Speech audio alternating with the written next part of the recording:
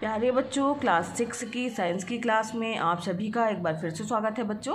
और हम पढ़ रहे थे चैप्टर नंबर ट्वेल्व गति बच्चों, ये चैप्टर हम लोगों ने पिछली वीडियो क्लास में स्टार्ट कर दिया था और हम लोगों ने जाना था कि कोई वस्तु विराम की अवस्था में कब कही जाएगी और गति की अवस्था में कब कही जाएगी। साथ ही बच्चों, हम लोगों ने ये भी जाना था कि गति कितने प्रकार की होती है। सरल रेखीय गति, वृत्तीय गति, घूर्णन गति आवर्ती गति दोलन या कंपन गति। इसके बारे में भी बच्चों हम इसके पहले की वीडियो क्लास में पढ़ चुके हैं। अगर आपने नहीं देखा है तो चैनल की प्लेलिस्ट में जाकर बच्चों आप देख सकते हैं। वहाँ पर आपको आ, इसका पहला वीडियो जो है इसके पहले का वो मिल जाएगा। आज हमें स्टार्ट करना है बच्चों दूरी और विस्थापन। ठीक है? तो यहाँ हम जानेंगे कि दूरी क्या है और विस्थापन किसे कहा जाएगा। तो यहाँ पर देखिए बच्चों, कहा गया है कि जो आपकी कक्षा है, ठीक है, जो क्लासरूम है, उसमें दीवार जो है, उसके सहारे चलते हुए एक कोने से दूसरे कोने जाइए और दूसरे कोने से तीसरे कोने तक पहुँचिए, ठीक है? अब जैसे कि ये चित्र बन दिख रहा होगा। तो यानी मान लीजिए हम यहाँ पर एक कोने पर हैं, यहाँ से हम दूसरे कोने पे गए, दूसरे से तीसरे कोने पे गए, ठीक है? तो अब इसके बाद जो सा वाला तीसरा कोना है, इससे हम सीधे जो है वो अब यहाँ से यहाँ भी आ सकते हैं या यहाँ से यहाँ तरीके भी जा सकते हैं। तो अब यहाँ पर देखिए बच्चों अगर एक तरह से कहा जाए आ से सा तक पहुँचने के दो रास्ते हो गए हमारे पास में। एक बार आ से बा में गए बा से सा में गए और एक बार आ से सीधे हम सा में गए। ठीक है? तो यहाँ पर आपको कुछ अंतर समझ में आ रहा है? तो बच्चों यहाँ पर आप देखिए यहाँ से सा वाले इस रास्ते से हमें जाने में ज़्यादा दूरी तय करनी पड़ेगी। हम्म, लंबी दूरी होगी ना? और अगर यहाँ पर जो है यहाँ से यहाँ जाएँगे तो छोटी दूरी होगी। ठीक? तो अगर कहा जाए कि यहाँ से यहाँ तक जो हम जा रहे हैं तो ये तो उस उस पथ की क्या होगी? लंबाई होगी पूरी और वो उसकी दूरी कहलाएगी। लेकिन कुल मिला के विस्थापन क्या हुआ? व्यक्ति पहुँचा कहाँ से कहाँ तक? तो जो न्यूनतम लंबाई है, न्यूनतम दूरी है, वो क्या कहलाती है? विस्थापन। न्यूनतम दूरी आ से लेकर सा के बीच की टेढ़ी वाली ही होगी। तो ये इसकी क्या कहलाएगा? ये इसका विस्थापन कहलाएगा। और जो है, पूरी पथ की लंबाई, आ से बा बा से सा वाली लंबाई क्या कहलाएगी उसकी? दूरी कहलाएगी। तो इस प्रकार से आप समझ गए बच्चों कि दूरी और विस्थापन क्या होते हैं, क्या अंतर होता है? ठीक है? अगर मान लीजिए बच्चों, कोई व्यक्ति जो है वो वृत्ताकार मार्ग पर चल रहा है, ठीक है? अब आधे यहाँ पर देखिए, आधे वृत्त का रास्ता तय करता है। तो उसके द्वारा चली गई जो दूरी होगी ए से बी जाता है बी से सी जाता है तो दूरी क्या होगी? ए से बी बी से सी इस तरीके से इसकी दूरी होगी।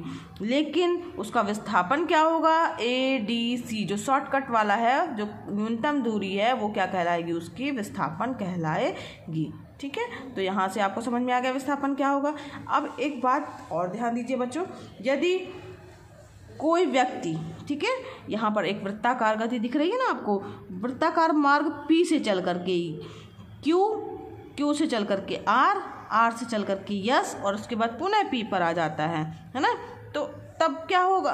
तब बच्चे उसके द्वारा चली गई दूरी तो यहाँ से लेकर यहाँ तक की दूरी पी से क्यू की क्यू से आर की आर से यस की और यस से पी के बीच की दूरी जो है उसकी क्या होगी?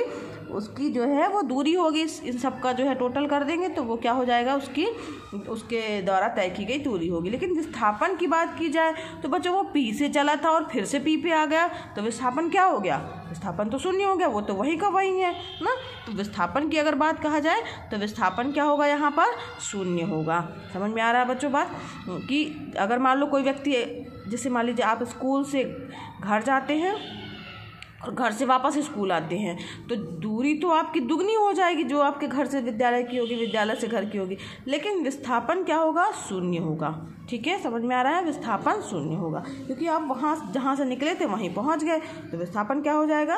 शून्य हो जाएगा। ठीक है? तो यहाँ पर कुछ विशेष बातें हैं। वो समझिए, दूरी का मान हमेशा बच्चों विस्थापन के बराबर या उससे अधिक ही होगा। अर्थात दूरी जो है, वो विस्थापन के बराबर हो सकती है और उससे अधिक हो सकती है।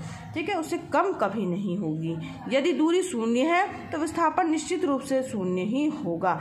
परंतु यदि विस्थापन शून्य है तो निश्चित रूप से ये नहीं है कि दूरी शून्य भी हो।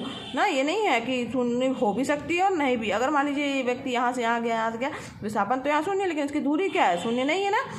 तो इसका मतलब हुआ कि इसका कुछ ना कुछ जो है, दूरी है। तो यानी शून्य हो भी सकती है और नहीं भी हो सकती है। तो ये आपको समझ में आ गया होगा बच्चों, दूरी में केवल बच्चों परिमाण होता है, परंतु दिशा नहीं होती कि वो कहाँ से कहाँ गया। परिमाण मतलब वो यहाँ पे है तो वहीं पे है, इसका मतलब है उसका विस्थापन शून्य हो गया। लेकिन दूरी में परिमा केवल परिमाण होता है किंतु दिशा नहीं होती। जैसे कि दूरी चल रहा है तो परंतु विस्थापन में परिमाण और दिशा दोनों ही होती हैं। ये विशेष बात है बच्चों कि दूरी में केवल परिमाण होता है किंतु दिशा नहीं होती है, लेकिन विस्थापन जो है उसमें परिमाण और दिशा दोनों होती हैं। ठीक है? तो इस प्रकार से आपको दूरी और विस्थापन में अंतर समझ में आ गया होगा। अब हम चर्चा करते हैं बच्चों चाल और वेग की। तो चाल और वेग जो है, ऐसे तो देखने में लग रहा है कि हाँ एक ही होंगे। चाल और वेग, ना कितने वेग से चल रहा है कितनी उसकी चाल है? तो बच्चों, यदि एक वाहन जो है वो निश्चित समय में अधिक दूरी अथवा विस्थापन तय करे और दूसरा वाहन जो है उतने ही समय में कम दूरी अथवा विस्थापन तय करे तो पहले वाहन की गति तीव्र और दूसरे वाहन की गति क्या होती है? वो मंद होती है ना? जो ज़्यादा अधिक समय निश्चित समय में अधिक दूरी तय कर रहा है, इसका मतलब है कि वो ज़्यादा तेज़ी से चल रहा है और अगर दूसरा वाहन जो है वो उतने ही समय में कम दूरी तय कर रहा है, इसका मतलब वो धीमे चल रहा है ना? तो दूसरे वाहन की गति कैसी है? धीमी है। इसी प्रकार बच्चों, आपने सड़क पर कुछ वाहनों को तेज गति से और कुछ वाहनों को मंद या धीमी गति से चलते हुए देखा होगा। तो साइकिल की गति जो है आपने देखा है कैसी होती है? वो तो धीमी चलती है ना? कार देखा होगा आपने वो तेज़ी से निकल जाती है। हम्म, तो साइकिल की गति धीमी होती है कार की गति तेज होती है। तो साइकिल को निश्चित दूरी तय करने में कार की तुलना में तो अधिक समय लगेगा ना? कार वाला व्यक्ति जल्दी पहुँच जाएगा और साइकिल वाला जो है वो कम समय में साइकिल वाला देर से पहुँचेगा उसे ज़्यादा समय लगेगा। तो यानी दिए गए समय में साइकिल के द्वारा चली गई दूरी जो है वो कार के द्वारा चली गई दूरी से कम होगी। ठीक है? अगर पर्टिकुलर समय दिया जाए कि इतने समय में दोनों की दूरी बताइए तो जो कार है वो ज़्यादा दूरी तय कर लेगी और साइकिल वाला कम दूरी का तय कर पाएगा। तो तो बच्चों, किसी वस्तु के द्वारा एकांक समय में चली गई दूरी उस वस्तु की चाल कहलाती है। और चाल का बच्चों एसआई पद्धति में मात्रा क्या होता है? मीटर पर सेकंड होता है। मीटर पर सेकेंड इसका मात्रक होता है और किसी वाहन या वस्तु की चाल जो है, वो उसके लिए एक फार्मूला होता है। चाल बराबर, जिसको वी बोला गया है, ना वी बराबर हो जाएगा। वस्तु के द्वारा तय कई, तय की गई दूरी बटे दूरी को तय करने में लगा समय। वस्तु के द्वारा तय की गई दूरी बटे वस्तु की दूरी दूरी को तय करने में लगने वाला समय। ठीक है? चाल बराबर दूरी बटे समय। क्या हो गया बच्चों? चाल बराबर, दूरी बटे समय, ठीक है? लेकिन अब हम बात करते हैं वेग की तो वेग क्या चीज़ होता है? तो वेग जो है बच्चों, किसी वस्तु के द्वारा एकांक समय में तय किए गए विस्थापन को उस वस्तु का वेग कहते हैं। आपको दूरी और विस्थापन में अंतर तो समझ में आ गया ना? तो वही अंतर है चाल और वेग में। तो वेग क्या है बच्चों? किसी वस्तु के द्वारा एकांक समय में तय किए गए विस्थापन को उस वस्तु का वेग कहते हैं। और वेग का बच्चों यसाई मात्रक जो है वो मीटर पर सेकेंड होता है, ना? तो यह सही मात्रक इसका भी मीटर पर सेकंड होता है? चाल का भी मीटर पर सेकंड होता है। तो लेकिन वेग का फार्मूला क्या होता है? विस्थापन बटे समय, ठीक है? चाल बराबर दूरी बटे समय और वेग बराबर विस्थापन बटे समय, ठीक है? अंतर समझ में आ रहा है बच्चों? अब यहाँ एक निष्कर्ष निकल के आ रहा है बच्चों कि जो चाल का मान होगा, वो हमेशा वेग के बराबर या अधिक हो सकता है। परंतु चाल का मान कभी भी वेग से कम नहीं हो सकता। अर्थात चाल जो है हमेशा वो वेग से बराबर होगी या तो वेग से बड़ी ही होगी, ज़्यादा होगी।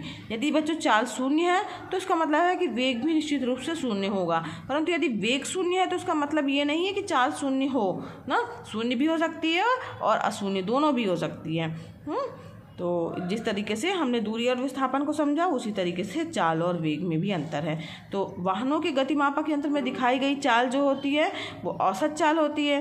हम्म? और औसत चाल बराबर क्या होता है? कुल चली गई दूरी और कुल उसमें दूरी को तय करने में लगा समय। ठीक है? तो औसत चाल बराबर क्या हो जाएगा? कुल चली गई दूरी बटे कुल लगा समय। तो चाल में केवल बच्चों एक ही परिमाण होता है दिशा नहीं होती है।